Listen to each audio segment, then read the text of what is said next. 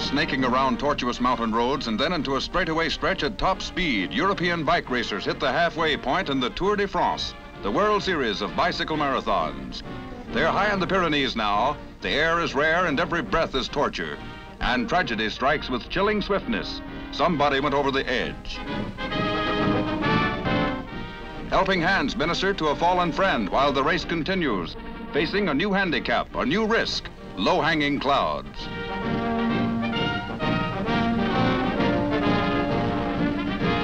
They pick up speed again, downhill into Luchon and the completion of another leg of the three-week grind.